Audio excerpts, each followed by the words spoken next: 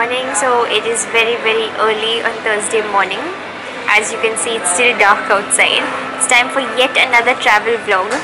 So as the title would have already told you I am on my way to Thailand. I'm so so excited because this is my first ever international solo trip. And I just I don't know what it's going to bring with it but I can't wait. So I've partnered up with Cox and Kings as well as the Tourism Authority of Thailand for this trip and I'll be going to two places. The first one is Chiang Rai which is the northernmost city in Thailand. So if you open up the map of Thailand you're going to see Chiang Rai right at the top it isn't so well known compared to a lot of other places in Thailand. I too didn't know about it and I did a lot of research and I was like wow this place sounds amazing because it's a historical city and it's got so much going on so many beautiful temples and it isn't that touristy right now which is like the sweet spot for me. There's so much more to explore there. And afterwards I'll be heading to Bangkok. Everybody knows Bangkok so I feel like I don't even have to give you an introduction. But yeah the last time I was in Bangkok I love the place. It's absolutely full of life and there's so much to do in Bangkok that I'm really excited to be revisiting it again. Not going to bore you with too many details right now because I'm vlogging all along the way so you guys are going to see and get to know every single thing. Right now I am in Mumbai airport waiting for my flight to Bangkok from where I will then catch another flight to Chiang Rai and I can't wait to check into my hotel. I also can't wait to take a nap. I'm going to take a good nap on the flight because I'm very very sleepy. See you guys soon.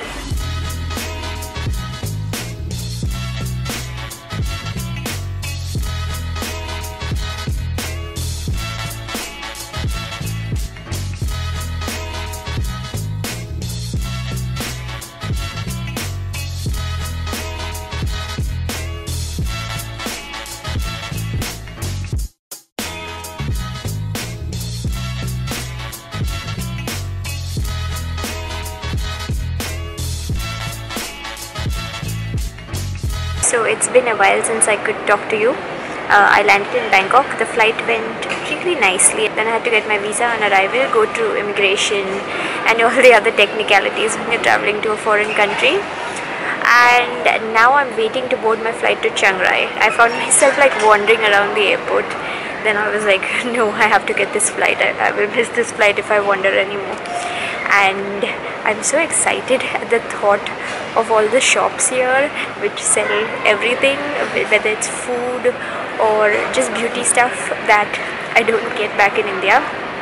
So I did my first Thai shopping and it's all food related. It's all in a bag here. They always have a lot of great dehydrated fruits so I'm taking some of them home for mum and of course I'll eat as well. And I went to the food court area and there were so many options. Everything looked so so good. There was this one restaurant serving authentic Japanese cuisine and there was like ramen and gyoza and everything. And I, I just I was looking at the restaurant and I wanted to cry because it looked so beautiful. But I didn't really have time to sit down and eat ramen and stuff.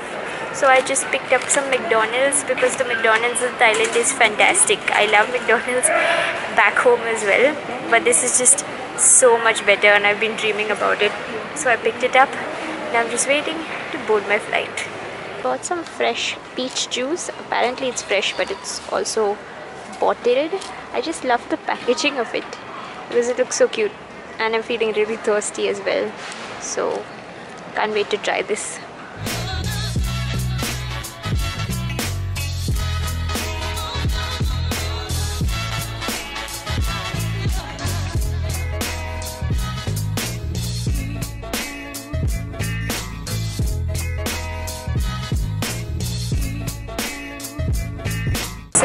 Finally landed in Chiang Rai.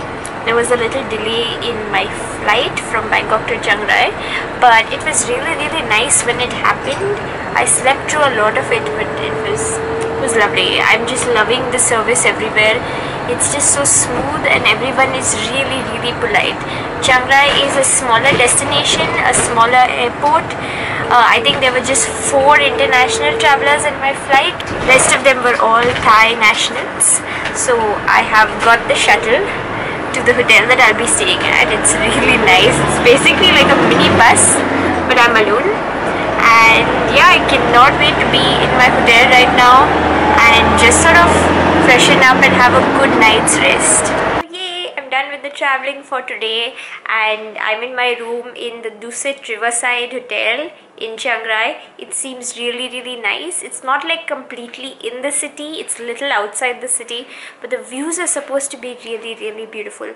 The room is nice, it's not too fancy but it's cozy, it's spacious and there's like a view I think out the window but it's night now. I really can't see much. I tried looking and it's difficult. So I think I'm gonna leave the room tour also for the morning because this is not optimal lighting. I think you guys will see the whole glory of the room and everything in the morning. So now basically I just have to figure out what to eat I think. There's fruit in the room though. Let me show you guys. There is dragon fruit. I think this is dragon fruit. I'm very rusty with my fruits. This is dragon fruit, right? I think so. When in Thailand, you should just eat maximum of the fresh fruits. We're really lucky that we get good fruits in India as well. But I think especially people from western countries really enjoy coming to the tropics just so they can eat fruits among other things. I still have my luggage sticker on from the airport. they made me put this on in Bangkok I just have to get fresh, I have to get ready, I have to connect to the Wi-Fi and tell my mother that I reached and I'm safe. No relaxation or rejuvenation can begin without a good meal and the shower gave me a serious second wind and I was feeling hungry so I ordered khao soi from room service. It's a coconut and meat based dish which is mild but still very very flavorful and I can't wait to dig in. Oh, oh, oh, um,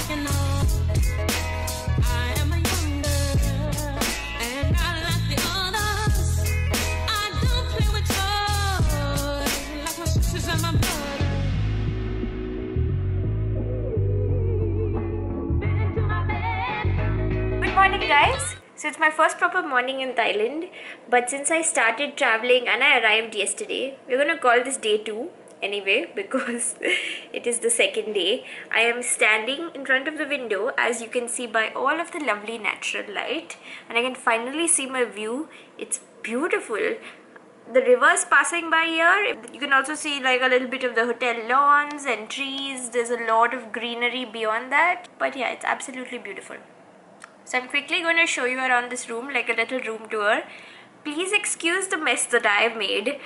When I unpack it kind of looks like a hurricane hit but still um, I'm just going to take you for a little spin then we'll head down for breakfast and then I have to head out for the day.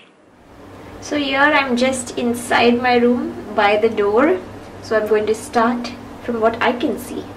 So we walk a little inside this is the closet. The door was a little tight so I opened it right in the beginning. And there are hangers there are robes and there's also a safe. And here's the hair dryer so extra pillows as well. And here is a full length mirror. Hi. Going to enter into the bathroom area. This is like the basin and stuff the shower area. There's also a tub which is super nice. There is where I've kept my suitcase. Let's not look at that area too much. This is also the dressing table which I've made the messiest of all. But I think it still looks very nice. This is like home base for me. This is the television which somehow I haven't turned on till now and I don't think I will there's a little tea coffee station here. And the minibar is here.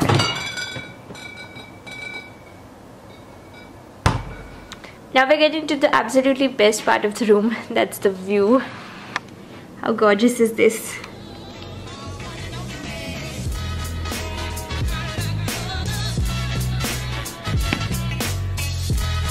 So I had no idea what fruit this was. It only looked familiar but I still didn't know. I thought these were lychees because I opened them up and they do kind of look like lychees inside and they taste like lychees. But turns out these are rambutans. Um, people on my Instagram stories did correct me, so thank you guys. Now I know.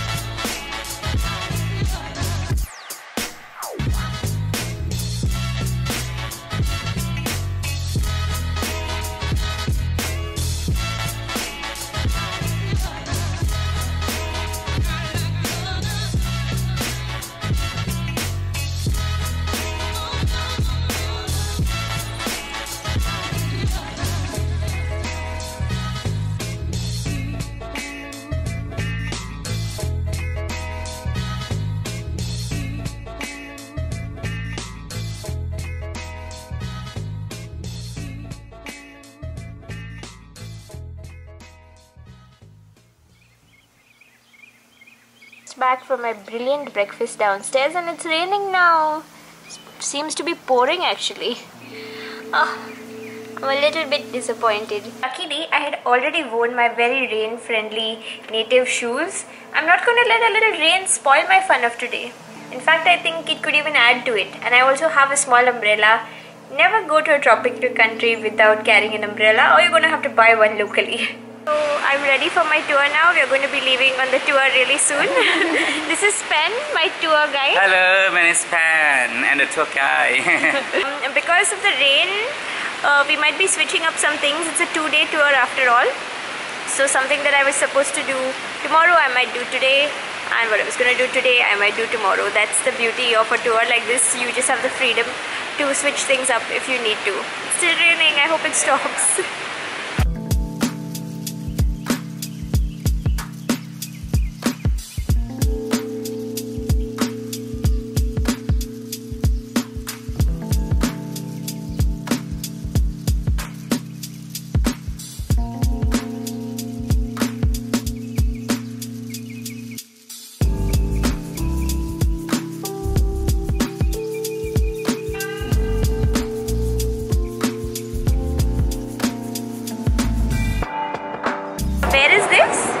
is the Mae Kachan Hot Spring on the way to Chiang Mai, very far from Chiang Rai. It's been a time two hours. So uh, yeah, it was a very long drive. I had a nice nap and right now the water here is bubbling everywhere. I don't know if you guys can hear it and see the one behind me. Uh, the water is 98 degrees centigrade so that's almost boiling point. You definitely can't touch it. It says here you can boil an egg and he said the egg is fully boiled in 5 minutes. 5 minutes, yeah. Um, I did some shopping for some more snacks and now we're just going to go across the road. Have a banana.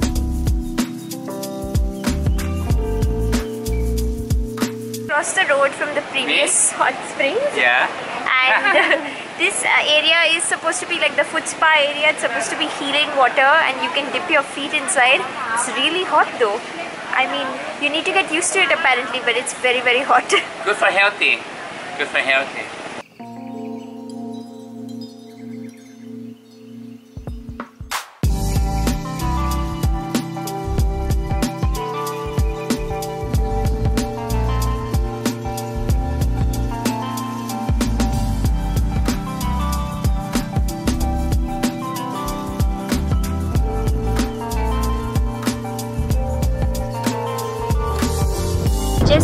the hot springs. It's on the road between Chiang Rai and Chiang Mai. Pen explained that it's like pretty much right in the middle. So if you're ever making like a road trip or uh, going by a bus between the two places, you usually have a stop there just to stretch your legs. And there are a lot of shops also. There are restaurants selling food obviously. Uh, there are souvenir shops and of course there are the springs itself so it was really nice. I did a little bit shopping. I'm restricting my shopping more towards food right now. So I got a seaweed snack and I also bought some rice cakes. So I'm really excited to try all of this out soon.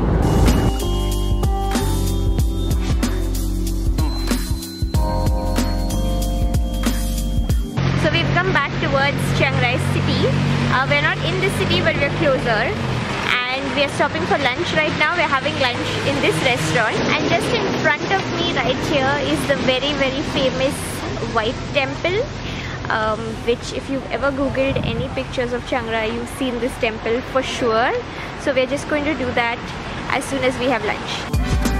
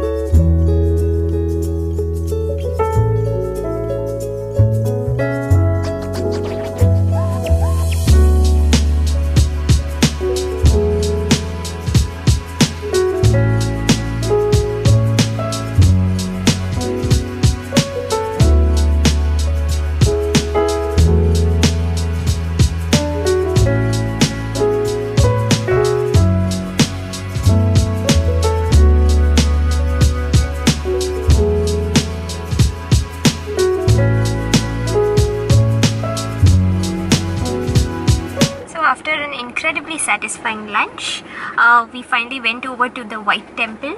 Uh, this is really famous, again, as I mentioned earlier. It's a very modern temple, uh, but it's considered as a symbol of Chiang Rai now. It was built, I think, in the year 2000, so it's just 16 years old. Very new compared to most of the historic temples around Thailand, which were built by their various kings over the years. And even Chiang Rai is a very historic city, but that temple is just 16 years old. It was built by a professor. So it's something like unlike anything I've ever seen or will see, I think, in a temple because most of the temples here are very colorful with gold motifs and stuff. This one is like pure white and it's got like mosaic work with mirrors in it. Um, it's very, very artistic and beautiful. Uh, something so unique, like you'll never see elsewhere, I think. Um, so it's just worth going, and also the entry is free. That's worth mentioning, and it's kept up wonderfully. So the art is supposed to be open to interpretation, but as my guide explained to me, and it was actually clear if you have a, a closer look at it, it's supposed to depict like when you're just entering in you see all those hands sticking out and all that that's supposed to be hell or just just the the underworld like the negative side of the underworld and where you go if you sin or lead a bad life. And then there are those two guards and as you proceed towards the temple itself uh, you'll see like a lot more positive figures. Uh, those are like are angels something like angels and there are also a lot of lotus flowers because that's considered to be a sacred flower and it's like an offering to buddha inside there's no photography allowed um, but it's also something very unique as i said it's built newly so you'll see like pikachu and minions and all in the wall art i think uh, this was a temple meant to show the Buddhist way to even younger people. So you'll actually see that. And again, it's the similar thing about heaven and hell inside. And like the circle of life, you're born, you die, stuff like that something very very unique. And even the toilets were beautiful. Did you guys see like golden toilets? And there's a lot to see and do there. There's a little souvenir shop. I just picked up a couple of postcards. And if you come here needless to say that is an absolute must do it was something else. I think the experience is going to stay with me for quite a while. Now we are on our way to the next attraction of the day which is the boat tour. I'll talk to you guys more when we reach there. Also, remember I was complaining about the weather in the morning. I thought we might not be able to do the boat tour, but the sky kind of cleared up. We are so lucky. By the time we reached the temple, the sky was so clear and there was these like blue sky and candy floss white clouds. It was really pretty and I just, I felt very lucky. It also got a lot hotter uh, in the morning when it had rained. It was nice and chilly, but it got warm and muggy now just like Mumbai, nothing different really. I was just happy to get back into the air-conditioned car because it's a bit uncomfortable outside. So we're at the boat pier now. We're gonna take like an approximately 40 minute boat ride and then go to the hill tribe villages. So I'm gonna start vlogging now because I have to walk carefully. It's a bit mossy.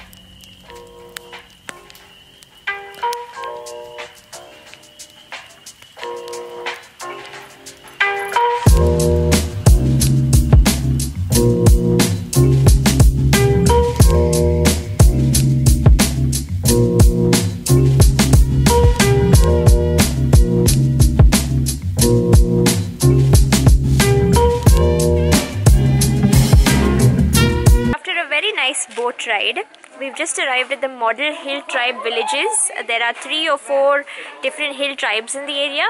So they've just made like uh, models of their villages. They're not their real villages, but you can see the way uh, that they lived. So that's where we are going now. Guys, there's a giant iguana here. He's like a bit creepy but beautiful. It's all black and white. He looks really angry. I, I guess I would be too. And there are friendly doggies. Yeah, Aw. friendly. This is snake inside. Very friendly. so sweet. And there's a snake here, Yeah, the closest. which you can take pictures with if you want, but I'm definitely not doing that. Yeah.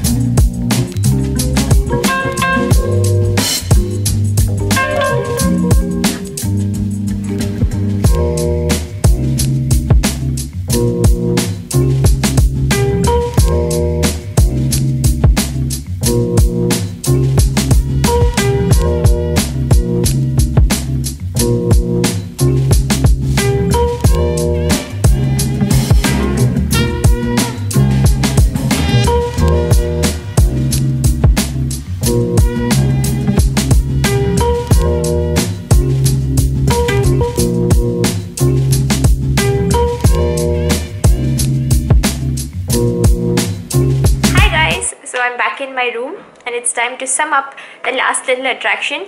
Please ignore my Bridget Jones road trip hair uh, because I was in the boat obviously I didn't carry scrunchies. We took a boat in the river. It's the same river that I can see because after we were done with the boat cruise, uh, we reached my hotel in like 5 or 10 minutes. It was literally that quick. The boat trip was fantastic, but the hill tribe village, I don't know, it was the only thing that fell a little short for me. It was not bad per se. I just felt like it didn't live up to what I thought. Uh, because it's off season, a lot of the shops were already closed and there was not much happening.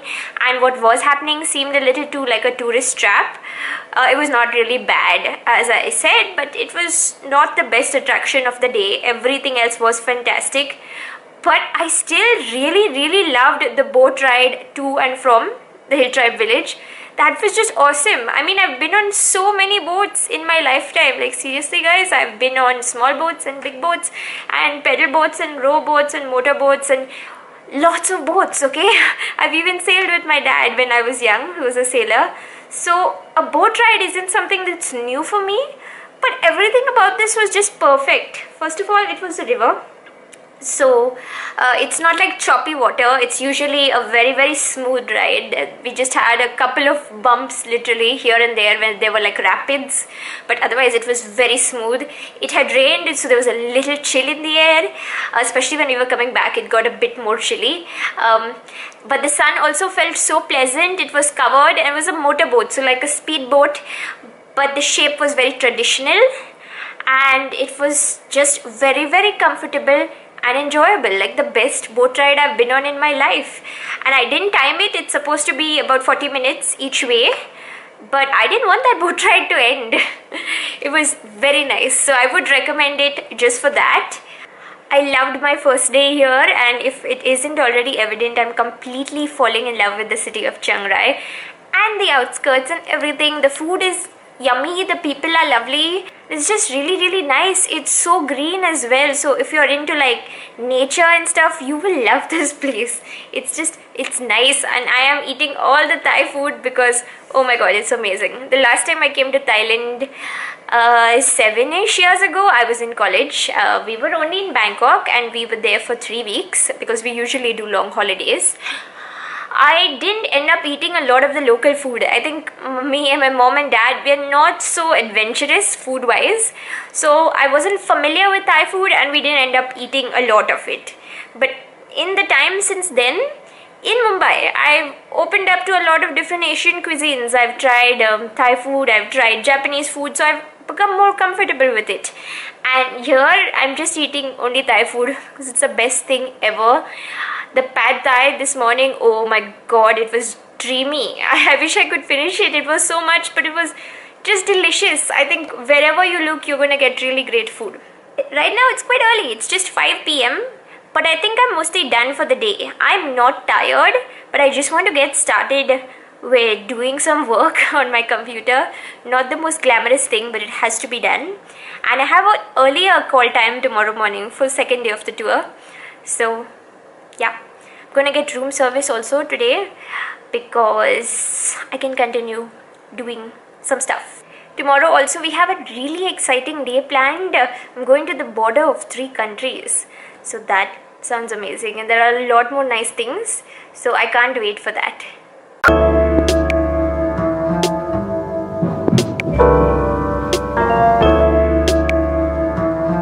This is what I call soup with a view and I can hear the birds chirping outside it sounds amazing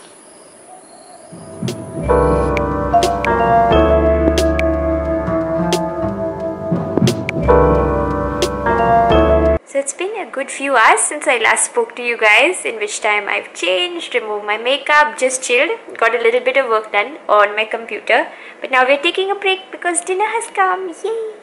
So I got me some fried rice. It's shrimp fried rice and look at that cute little egg on top. Isn't that adorable? I think the whole plating is really really nice.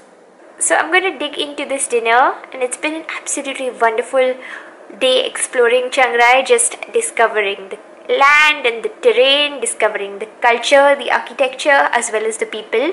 I really do feel forever young and I just feel so good. I feel like it's showing on my face right now. I'm not even wearing any makeup. I just feel really, really happy. And even when I've come across locals who I can't speak to because we don't speak the same language we just communicate in the language of smiles and that makes me feel even more good i feel like we understand each other though we aren't speaking a common language.